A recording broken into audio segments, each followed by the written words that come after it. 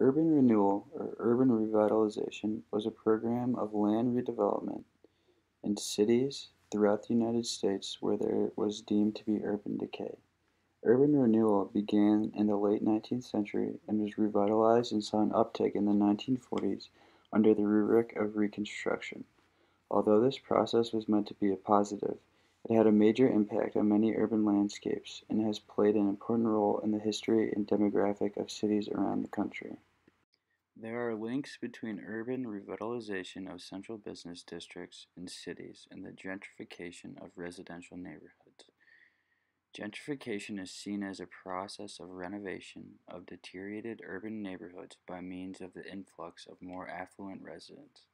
However, over time, urban renewal evolved into policy based less of destruction of neighborhoods and more on reinvestment and renovation. renovation. Today, urban renewal is an integral part of many local governments with incentives posed for both big and small business. Uh, in 1949, the Housing Act of 1949 was passed, and many civic leaders wanted to take advantage of this new legislation. The American Housing Act of 1949 was a landmark, sweeping expansion of the federal role in mortgage insurance and the issuance and construction of public housing.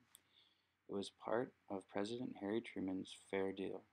The main elements of this act included federal financing for slum clearance programs associated with urban renewal projects in the American cities, increased authorization for the Federal Housing Administration mortgage issuance, and the extension of federal money to build more than 800,000 public housing units.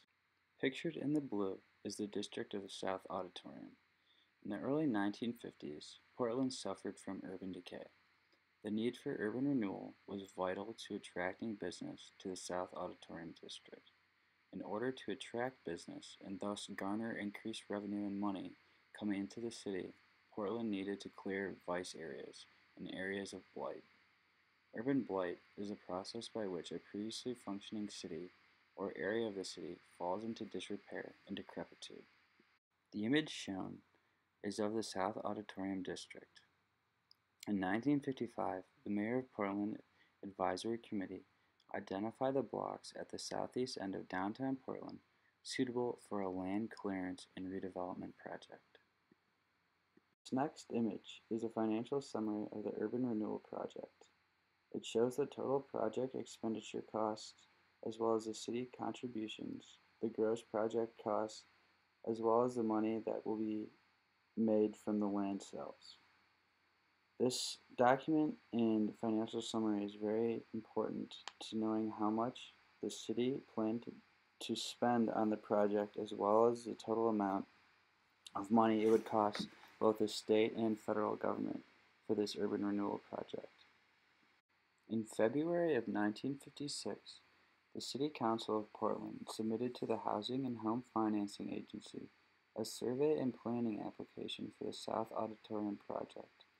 In May 1956, the Federal Housing and Home Finance Agency approved the $84,193 survey and planning grant and reserved 3,167,000 for the project. Finally, on August 11, 1956, the committee recommended clearance of six blighted areas of the city. The big square of southeast Portland between Union and 12th, 12th Avenues and Hawthorne and Division Streets, the east side Willamette Riverfront between Broadway and Steel Bridges and the South Auditorium District. The years 1956 through 1957, the assessor's records indicate that all property taxes from the area provided only $143,268 that went to the city, county, and school districts. New development will realize approximately 558000 for these differing tax bodies. In the early years of 1957, the urban renewal staff was assembled and existing conditions were studied prior to the drafting of the plans for the project. Fast forward to May 7, 1957, the Comprehensive Development Plan was approved by the Planning Commission for the southwestern portion of the city. Thus, on September 26, 1957, after many meetings, the Commission reviewed and approved the redevelopment plan in principle. January 15, 1958, After three years of research, litigation, and documentation, the redevelopment plan and supporting documents are first published. This was merely a rough draft. In February 1958, the committee adopted a revised zoning ordinance and zoning map. In May 1958, a half a million dollar levy was placed for the urban renewal project. The levy was a five-year and used exclusively for urban renewal purposes. The levy estimated would produce $500,000 annually. After the numbers were shown and configured, the City Council received, reviewed, and approved the project. Five months after it was approved by the City Council of Portland, the HFFA approved the plan, which meant that it would get the necessary funded, funding it needed from the federal government.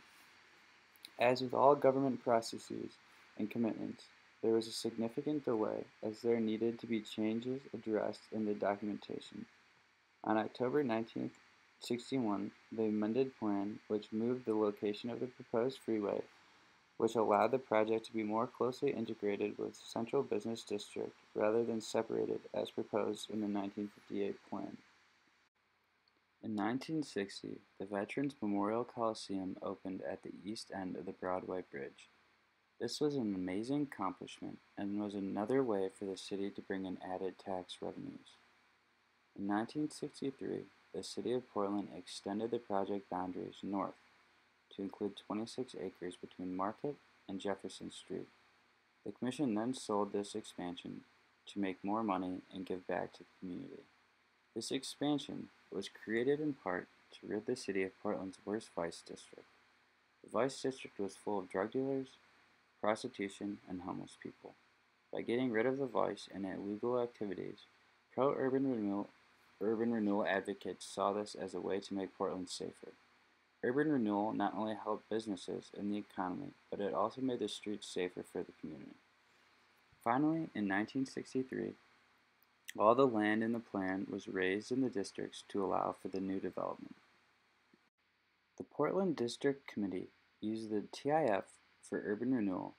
The 14-year tax bonds were sold and fully retired in 1974 due to the substantial increase in assessed value for the area due to the redevelopment. All in all, the project added over $394 million to the tax rolls in the city of Portland. Urban redevelopment might not have worked everywhere, but it spurred the local economy of Portland. This project not only reinvigorated a deteriorating neighborhood, but it also brought back the livelihood and well-being of the people who live and work in or around the neighborhood. This image shows South Auditorium District today and its retail sector, the areas for more improvement, as well as the different attractions. Today, the City of Portland and the South Auditorium District are thriving. The district is known as a hotspot for local art and sculptures created by different artists from around the country as well as throughout the region. The district is an award-winning development with its high-rise buildings, generous setbacks and landscaping, numerous plazas and fountains, and elaborate pedestrian walkway system. As the years have gone on, the City of Portland has continued to add value and different attributes to the district, making it a tourist destination as well as a Portland hotspot. One of the coolest parts of the South Auditorium District is where nationally recognized landscape architect Lawrence Halprin designed many different outdoor spaces. Finally, this image is of the Keller Fountain Park in the South Auditorium District. This was created by world-renowned architect Lawrence Halprin in 1970 and is noted as a memorable feature of the public landscape in downtown Portland. Not only did Portland use urban renewal to create mixed-use area of residential living and commercial business, but the city also incorporated different landscape architecture. By using landscape architecture, the city created not only a mixed-use area, but also an area of tourism and intrigue.